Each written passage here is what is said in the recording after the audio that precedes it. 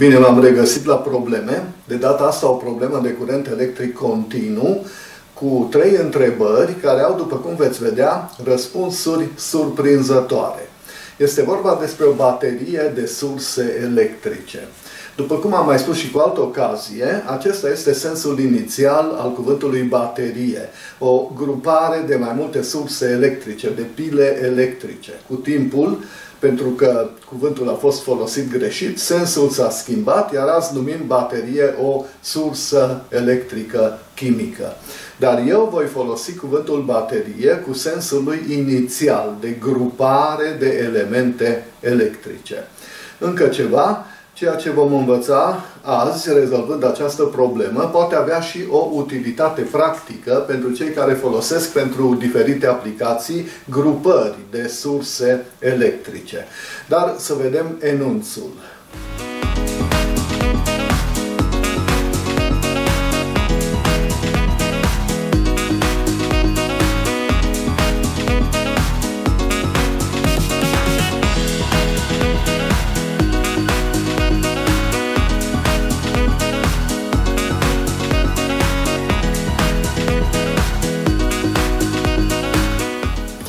Ca să rezolvăm problema, avem nevoie de legea lui Ohm pentru întregul circuit, de formula de calcul a puterii în funcție de intensitate și rezistență și de formulele de calcul ale rezistenței echivalente pentru gruparea serie și gruparea în paralel. Să rezolvăm întâi problema pentru cazul general. Să presupunem că avem în total n mare surse fiecare cu tensiunea electromotoare E mare și rezistența internă R mic. Vrem să le legăm, așa cum vedeți în desen, câte pe ramuri și pe fiecare ramură să avem S surse legate în serie. Deci, ușor de ținut minte, S ne arată numărul surselor legate în serie pe o ramură și P ne arată numărul ramurilor legate în paralel. Evident că avem relația S înmulțit cu P este egal cu N mare. Să nu uităm acest lucru pentru că ne va ajuta în rezolvare. Întâi trebuie să observăm că tensiunea electromotoare a bateriei noastre de elemente electrice este S mic înmulțit cu E mare. Deci tensiunea electromotoare echivalentă este S înmulțit cu E. Pentru că dacă grupăm în serie mai multe surse cu tensiunea electromotoare E fiecare, atunci tensiunea electromotoare totală este suma tuturor tensiunilor electromotoare. În cazul nostru, deci, avem produsul S ori E. Și acum să vedem cât este rezistența internă echivalentă pentru gruparea noastră. Avem pe ramuri și pe fiecare avem S surse, fiecare cu rezistența internă R mic. Așa că putem folosi relația 1 supra RP este egal cu 1 supra R1 plus 1 supra R2 și așa mai departe. În cazul nostru avem 1 supra rezistența echivalentă, va fi 1 supra S înmulțit cu R mic, pentru că fiecare ramură are rezistența totală de S ori R mic, plus 1 supra S R mic, plus așa mai departe, de P ori. Avem P termeni. Și atunci, 1 pe rezistența echivalentă va fi P supra S ori R, iar rezistența echivalentă va fi atunci S înmulțit cu R supra P. Deci, bateria noastră de elemente se comportă ca o sursă care are tensiunea electromotoare S ori E și rezistența echivalentă S ori R supra P. Și acum putem să mergem mai departe. Am demonstrat în videoclipul Curent Electric 03 din seria Fizica pentru examene și concursuri, găsiți linkul în descriere, că o sursă debitează puterea maximă pe un rezistor de sarcină. Dacă rezistența acelui rezistor, R mare, este egală cu rezistența internă a sursei. Și în acest caz, intensitatea curentului va fi E supra R mic plus R mic. Pentru că R mare este egal cu R mic.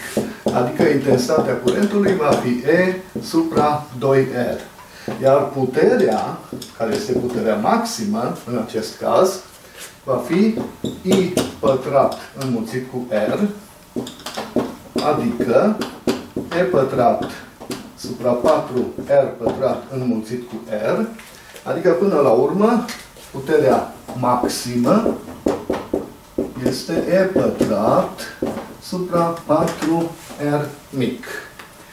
Să aplicăm această formulă pentru bateria noastră. Avem puterea maximă egală cu E, la noi este E echivalent, adică S ori E la pătrat, S pătrat ori E pătrat, supra 4, înmulțit cu R mic, R mic echivalent, S înmulțit cu R, supra P. Și atunci puterea maximă va fi, S odată se simplifică, P ori S ori E pătrat supra 4R. Dar, am spus de la început că produsul P ori S este N, este numărul total al surselor. Și obținem că puterea maximă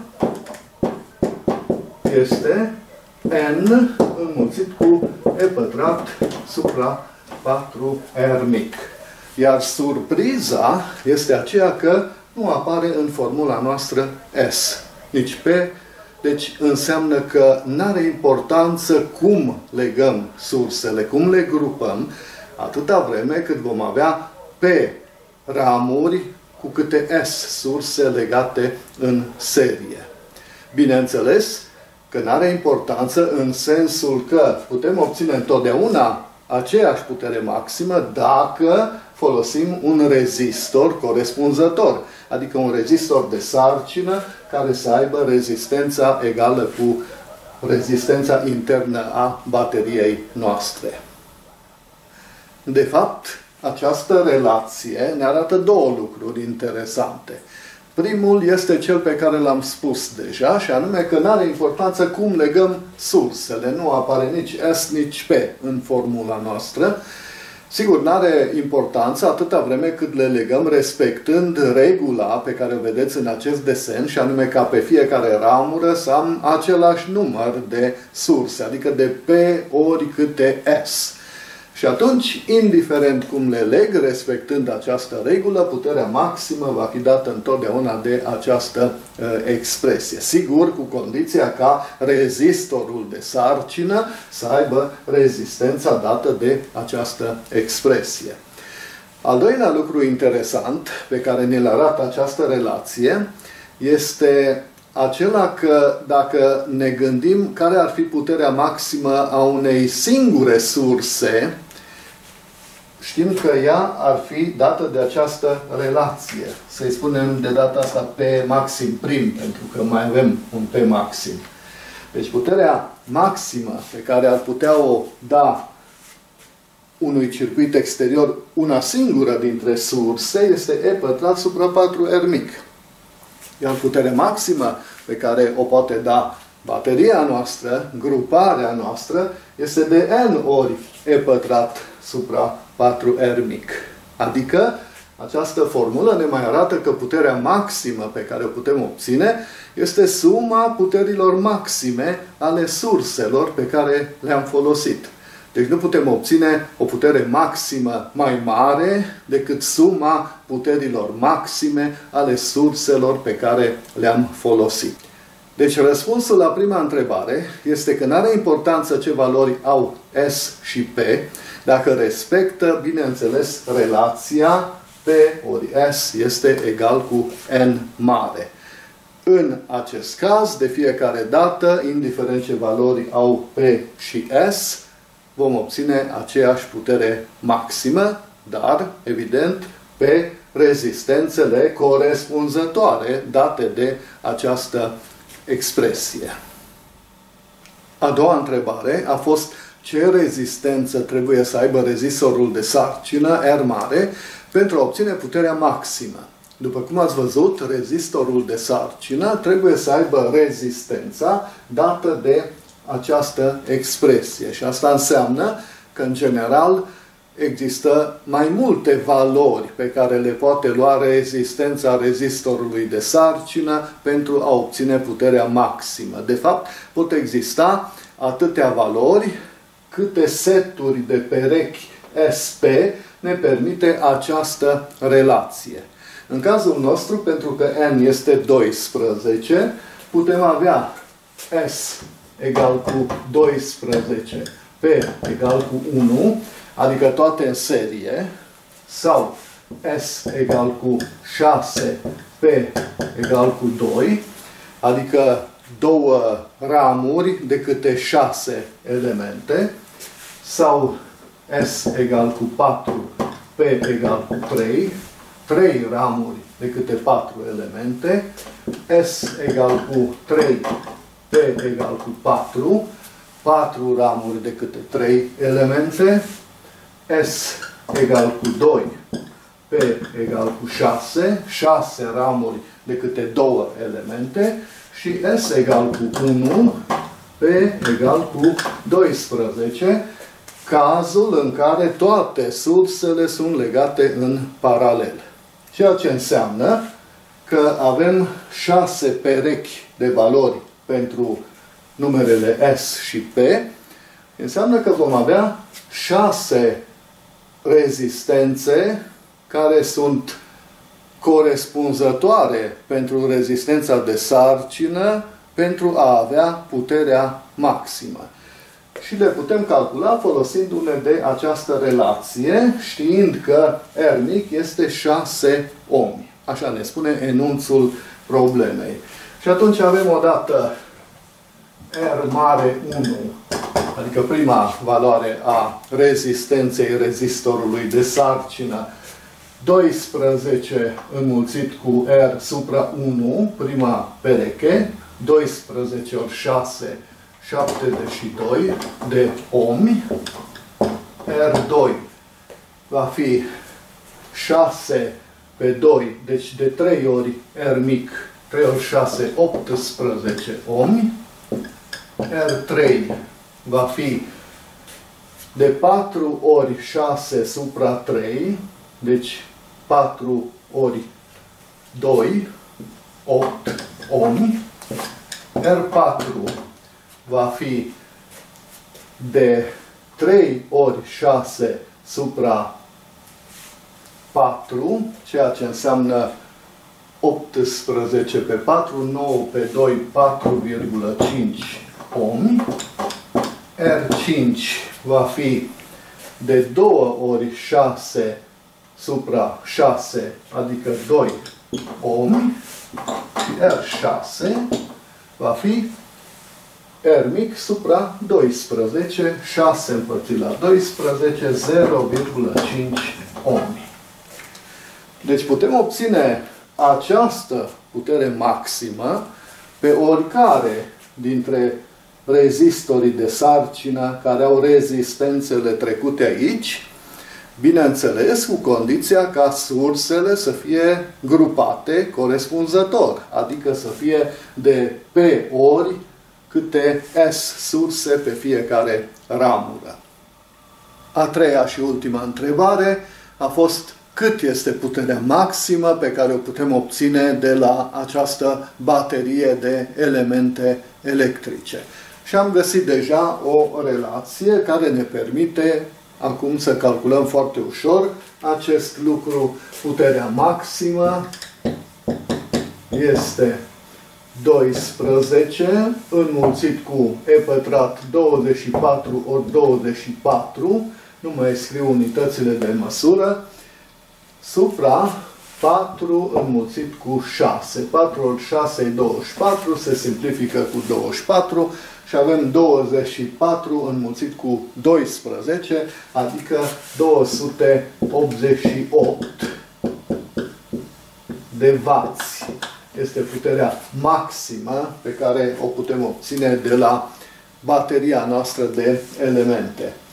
Bineînțeles că putem calcula și altfel, putem calcula puterea maximă pe care ne poate da una singură, să zicem pe maxim prim, e pătrat supra 4r mic, adică pe maxim prim va fi 24 ori 24 supra 4 ori 6, pe maxim prim este deci 24 de vați, o singură sursă ne poate da 24 de vați și pentru că avem 12, putem obține de 12 ori această putere, adică 288 de vați. În concluzie, legate în P grupe de câte S în serie, sursele noastre formează o baterie care poate da puterea maximă de 288 de W pentru rezistențe de sarcină care au aceste valori. Pentru orice rezistență de sarcină, care are una din aceste valori, putem obține puterea de 288 de W, cu condiția, evident, să avem o legare, o grupare corespunzătoare. Adică să avem P grupe de câte S surse. În final, o observație. Dacă împărțim toate aceste valori la cea mai mică dintre ele, la 0,5, obținem aici 1, aici 4, aici 9, aici 16, aici 36 și aici 144. Și vă rog să observați că aceste numere sunt pătratele divizorilor lui 12.